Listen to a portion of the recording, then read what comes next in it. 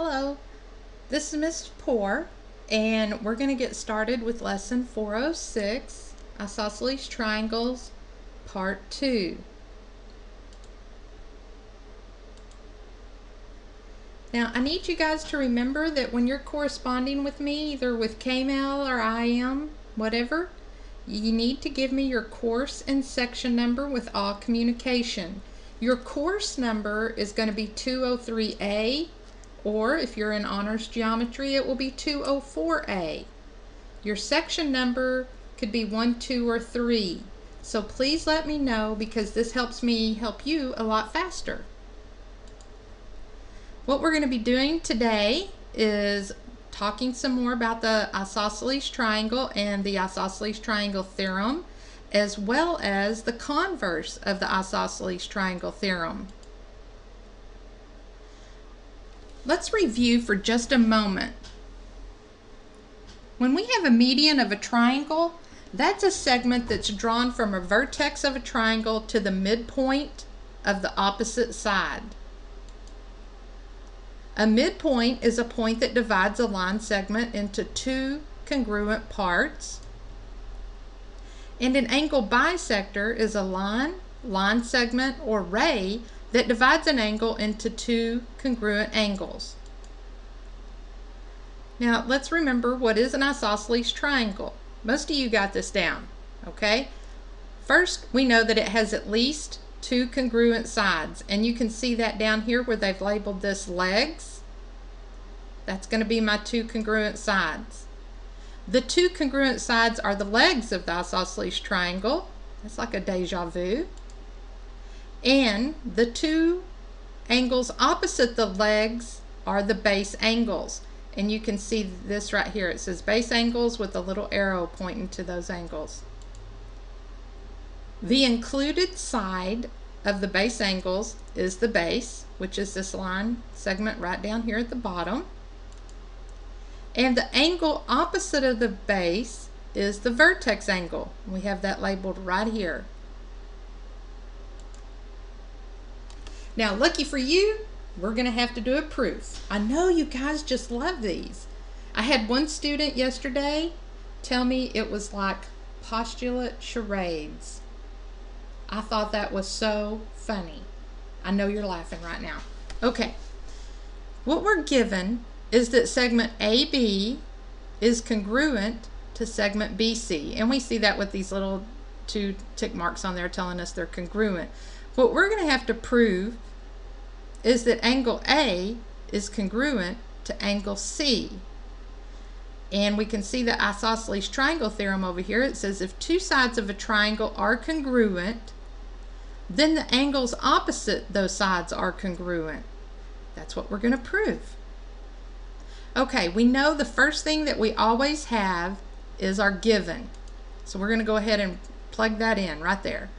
AB is congruent to BC and that's a given statement. And we can see it in the figure as well. All right, now here is something we're going to do next. And we just, that's why I've included the median in the review. What we're going to do is we're going to add a median to our drawing. And just to help you get that visual, let me go up here and click on pin. And let's draw this isn't going to be straight. It would be nice if I had a straight edge I could use on this. Oh, it's really bumpy. There we go. But you get the idea. It's a median. And it should be moved over just a little bit, but we'll be okay. We get the idea. So we drew the median. And you know what? You can do this with proofs. It's allowed. They're called auxiliary lines or figures, anything like that something that's going to help you prove the theorem. Okay, now then let's think about this. I've told several of you, if you go off to the side and you think, what do I do for number three? Okay, well now that I have that median, what do I know? Let's go ahead and do something. Whenever you draw something like this, you need to go ahead and label This point right here we're going to call D. Now we know several things from this, but remember, because of this segment, we know a couple of things. But remember what you're going to prove, that angle A is congruent to angle C. So how is that going to help me? Well, what I've also known, if I draw a median like that from the vertex perpendicular to the base, I can go ahead and draw a little perpendicular mark right there, which tells me it's a right angle. I know that when I do this with an isosceles triangle, it's going to split that base into two congruent segments. So I've got AD is going to be congruent to DC. So remember, I've told y'all, especially those who have asked me for help, always write an if-then statement. So if I draw a median, and remember your if is always a previous statement that you've given in your proof. So if I draw a median of triangle ABC, then, excuse me, uh, segment AD will be congruent to segment DC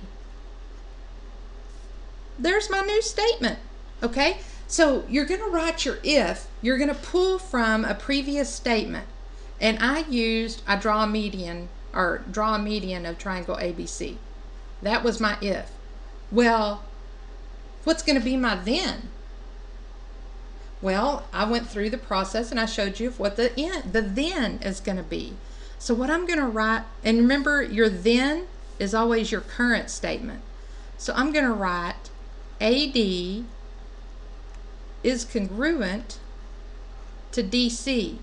Now also remember, you don't always, always have to write an if-then statement. You may conclude these facts from your brain. I know it sounds awesome, something supernatural, but it does happen. You do do these things. Okay, so how do I know this? How do I know that this median that I drew is making these segments congruent. Ha! That's where we have to go and we have to look at our rules. This is where the student came up with the postulate charades. He's going, okay, I've written this if-then statement, and then I've got to go and look at all these rules I've learned through units 1, 2, 3, and 4 and figure out which one fits.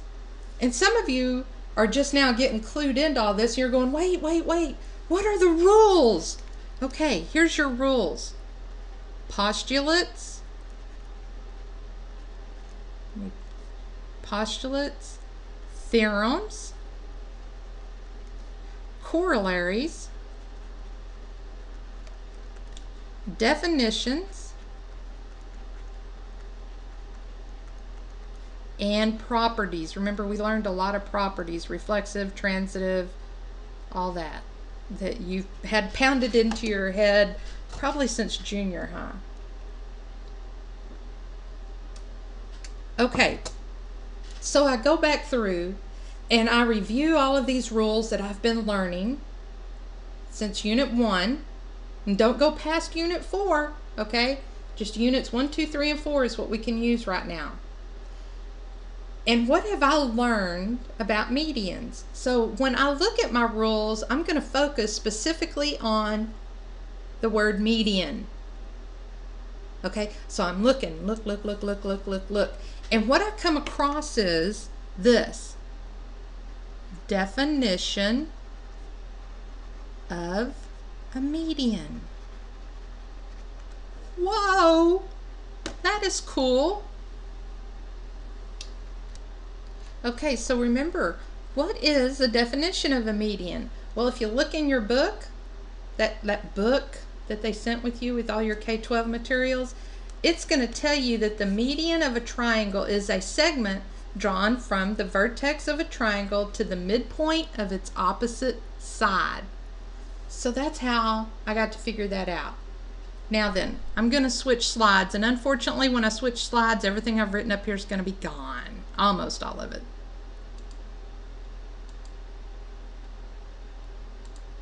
There we go. Definition of median. AD is congruent to CD. All right, so now we look and we say, okay, what's next? All right.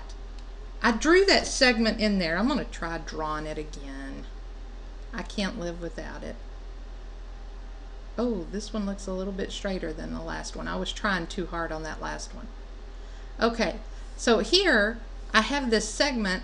What can I tell about that segment? Well, let's start out with an if. What if am I going to use? If, let's go back and use that number 2 again. If uh, I draw a median of triangle ABC, then, and I'm going, then what? I've already concluded that AD is going to be congruent to CD by using the definition of a median, but what do I know about that new segment that I drew? Hmm, check this out. And always keep in mind what you're trying to prove. Angle A is congruent to angle C. So let's go with BD is congruent to BD. Okay, so now I'm going to draw this. Whoa! Things are starting to come together now. I'm seeing it now that I drew those tick marks up there. So now I've got to figure out, okay, this can be my number four. BD is congruent to BD, but how do I know that? Well, here comes that postulate charades again. Of course, it's more than just postulates. If you think about it, how do I know BD is congruent to BD? And you go back and you look. Don't ever forget about your properties okay? If you look through all of your properties, you will see, oh goodness, forgot how to spell, reflexive property of congruence. And you can use the symbols, I don't care. That's the way we did it in college, then you can do it this way too. Reflexive property of congruence. Well, that's pretty cool. I got four down, but I'm still not there at proving those angles are congruent. Well, let's look at this right quick. Let me, let me change slides and get it all nice and neat looking again. There you go. Whoa, don't look at that one yet. All right, let's think. I've come up here, I've drawn that almost perfectly straight segment. What do I know now? that I've done all of that. Look at those two triangles up there. We have triangle ABD and triangle CBD. And what do we know about those triangles? If all the sides are congruent, remember we've learned before about the side, side, side theorem? Check this out. Oh, well, we want to be able to write an if-then statement. Let me do an if-then statement. If, and you're going to pull it all together now, all of it. If AB is congruent, and you see, I almost went and worked through this without writing the if-then statement, because when you start absorbing all of this geometry knowledge, it just goes poof, and it starts just coming together instead of you having to sit and write all these if then statements out. Okay? But anyway, let's continue with the if then statement and pull it all together. And look at, I'm going to be using statements 1, 3, and 4. So AB is congruent to BC. AD is congruent to CD. And BD is congruent to BD. Then that tells me that triangle ABC is going to be congruent to triangle, ah, that shouldn't be a C, that should be a D. is going to be congruent to triangle CBD. Okay, so remember, previous statements, current statement. Now then, I've kind of already let the cat out of the bag on how I know that these triangles are congruent, and that's why I almost just wrote it down without the if then statement because when I look at my figure, I see all those sides are congruent and it just popped into my mind hey, those triangles are congruent because of the side, side, side theorem that we learned previously. That if all the sides of two triangles are congruent, then the triangles are congruent. Okay? Wow. It looks like I'm almost to the point of proving those angles are going to be congruent to each other. So let's see what's next. Oh, there it is. Y'all had already gotten a glimpse of it. Okay, now let's look. If these two triangles are congruent, my line's a little off there, but y'all understand what's going on. Okay? And these angles are going to be congruent. We already know these guys up here are congruent, so that automatically means A and C are congruent, but we learned a special uh, theorem, I think it was, maybe corollary, I'm not, I can't remember. But it told me that angle A is going to be congruent to angle C, and remember these letters? CPCTC, congruent parts of corresponding triangles are congruent. Now then, you could have written your if-then statement, all right? You could have. But by the time you got to this point, it was pretty easy to figure out because of the CPCTC. Okay? All right, well, that's the end of that theorem. We have proven it. There you go. Corresponding parts of congruent triangles are congruent. And now let's look at theorem 4.2, converse of the isosceles triangle theorem. If two angles of a triangle are congruent, then the sides opposite those angles are congruent as well.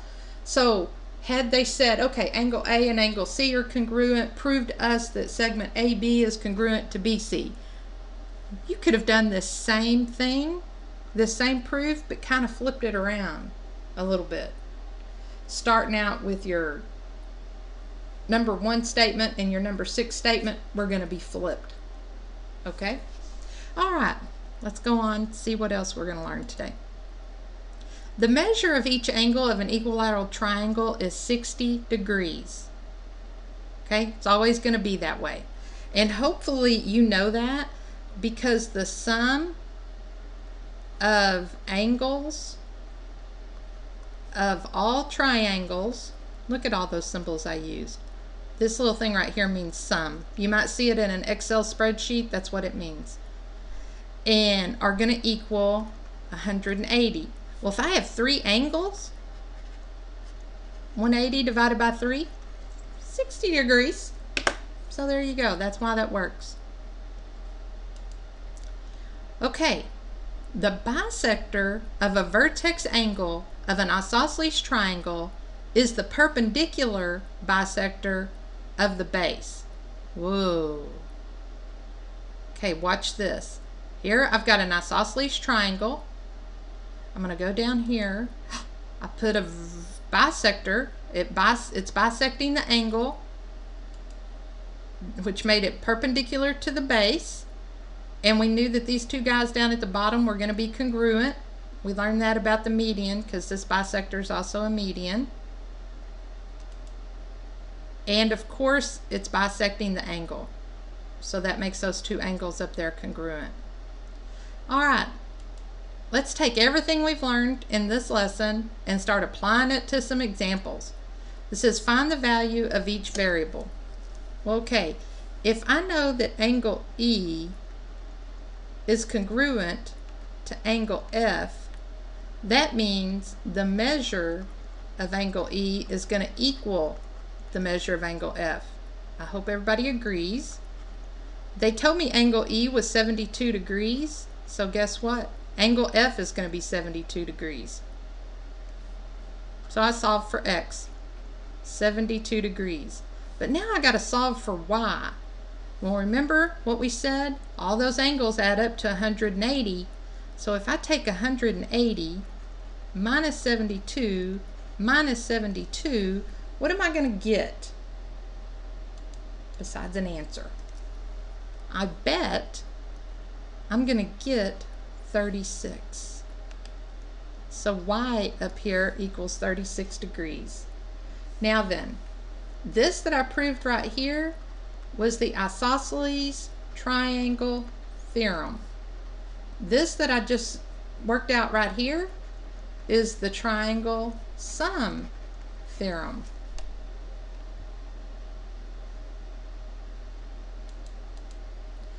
Okay, this one says find the value of each variable. And it looks like we got an x and a y, and they didn't give us any information really. They told us that the segments were congruent, and we know that angle M equals 90 degrees, and they told us the segments were congruent, so segment LM is congruent to MN. Okay, well remember, this looks like a right triangle, and it is a right triangle, but with LM and MN being congruent, that tells us it's also an isosceles triangle. So if I take 180 minus 90, that's going to give me 90 degrees. Well, I've got two angles, okay? I've got angle N and angle L. And I'm going to have to figure out what each of those measure. Well, since they're congruent, I can just divide that 90 by 2. Each of those angles are going to be 45 degrees. And we're going to learn more about a 45, 45, 90 later. Because it's called a special triangle. Okay, now y should be pretty easy. And by the way, this was the isosceles triangle theorem that figured that out. Oh, and the triangle sum theorem. All right, now to figure out y. Well, what do we know about the angle measure of a straight line? It's 180. So if I take 45 away from 180, that'll leave me 135, which is how much y equals. And that was from way a long time ago, the linear pair postulate.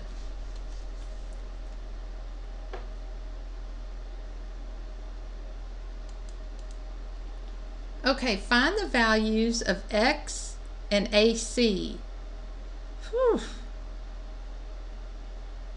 Find the values of x and AC. All right, let's figure this out. If angle A is 32 degrees, that means angle C is 32 degrees.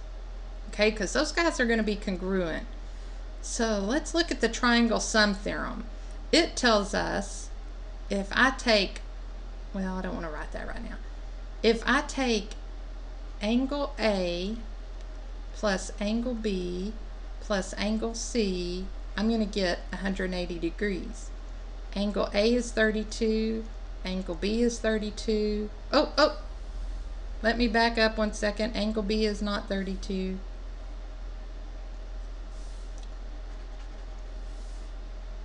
I got my letters mixed up. Angle B is going to be 8x. And then angle C is 32.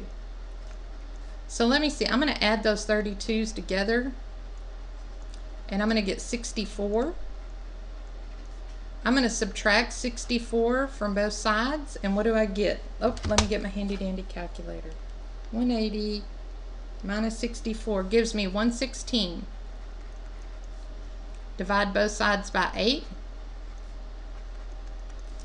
Divide by 8. x equals 14.5. And it says find the value of x. So I found the value of x.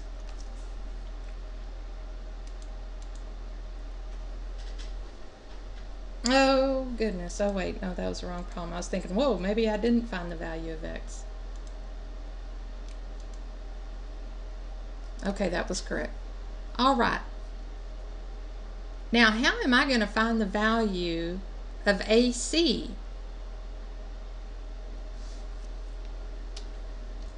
Since I found a value for x, I know what AC is because AC equals 2x.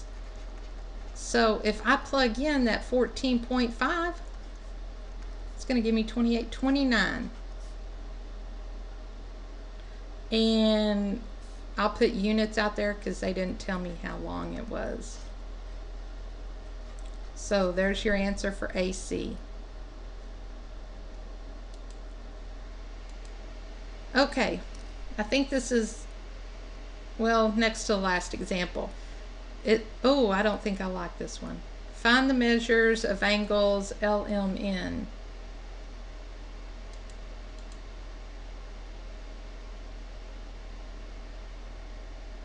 Okay, I know it's all right. I thought it was a different kind of problem that y'all really didn't need to learn right now, but it's okay. It's going to work out great. We know with these two guys right here being congruent, we know these angles down here are congruent. So we can set up this problem just like this. Let me put measure of angle M is going to equal the measure of angle L. And now I'm just plugging in what their expressions are. Just like that. I like to keep my x's on one side that are positive. So I'm going to subtract 7x from both sides. That gives me 4x minus 28 equals 4. Then I'm going to add 28 to both sides. I'm going to get 4x equals 32. Divide both sides by 4. I get x equals 8. Let me see, what did the question ask for? Now that I found x, I always go back and look. Find the measures of the angles. Okay, so the measure of angle M equals 11. I'm going to plug in that 8 minus 28, which gives me 88 minus 28, whew, which gives me 60. Okay, well, if I know the measure of angle M is going to give me 60, I don't have to calculate L. I know it's going to be 60 degrees. And guess what, guys? Remember what we said about equilateral triangles? 180 divided by 3, everybody's going to equal 60 degrees. So I don't even have to plug in for x for angle N. I already know that it's 60 degrees. But you're more than welcome to go ahead and plug it in if you want to, just to prove whether you're correct or not. Okay, given points F and E are on AD, FC bisects BFE and BCE, prove that angle BCF and angle FCE are isosceles. Now I'm going to go through this pretty quickly, but the first thing I'm going to do before I do anything else is I'm going to mark up this picture with all the information they gave me. They said points F and E are on AD, right here. They said that FC bisects angle BFE, which would be right here,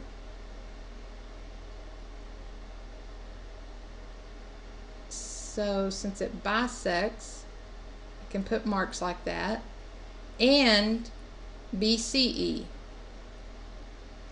Now, for right now, I don't know that those angles are congruent because it didn't tell me this was a square or anything. So I'm going to put two tick marks right there.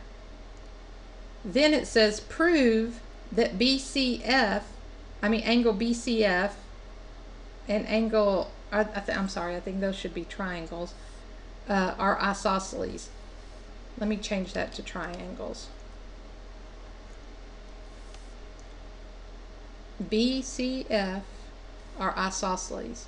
Okay, so they're wanting us to see if these angles right here, I mean those segments right there are congruent. Okay, so let's see if we can't go through this one pretty quickly. First thing you always write down, you may have to draw your, I'm going to put statement here, reasons over here. Just going to draw me a little T-chart. Oh, that's not a very straight line.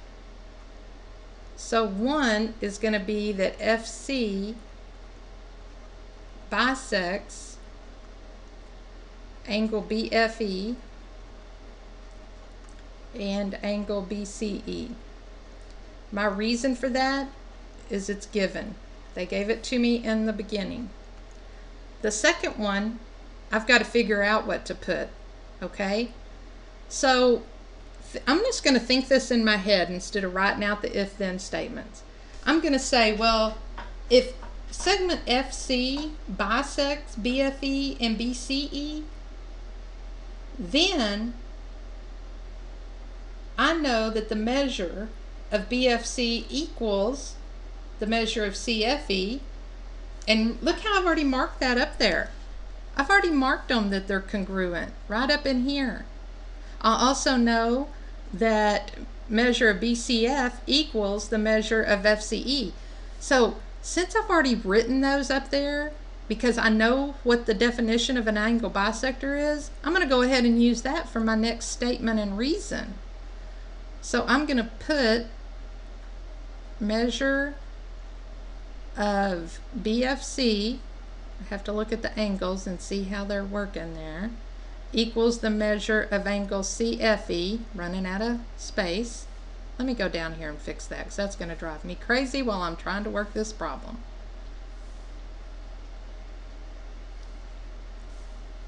Let me move it over just a little bit. I don't know why it went crooked while ago. And the measure of BCF uh, angle equals the measure of FCE, angle FCE. And like I already said, I know what the definition of an angle bisector is, so that's what I'm going to write here. Definition, angle bisector. Okay, now let's take that information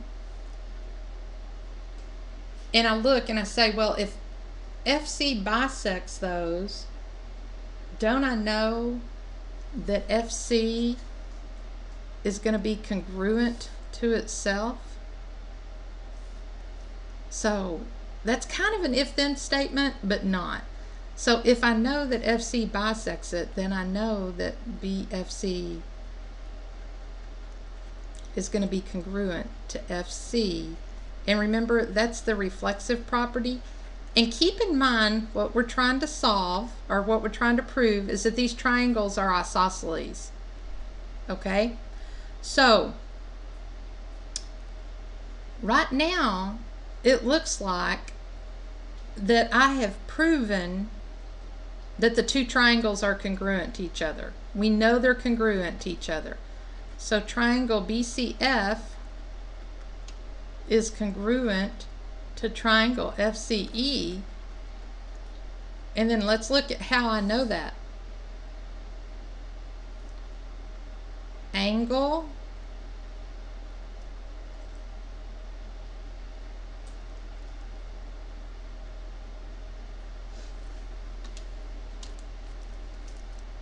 Okay, I had my angle, my side, and my angle of both of the triangles. So I know they're congruent because of angle side angle. Now then, I also know that since those angles are congruent, I can say that BC, segment BC, is congruent to segment BF because of the theorem that I learned today, the converse of isosceles triangle theorem. Oh, and I, I forgot to include these guys. CE is also congruent to EF. And then remember what we were trying to prove? That triangle BCF and triangle FCE were isosceles. And I know that because of the definition of isosceles triangle.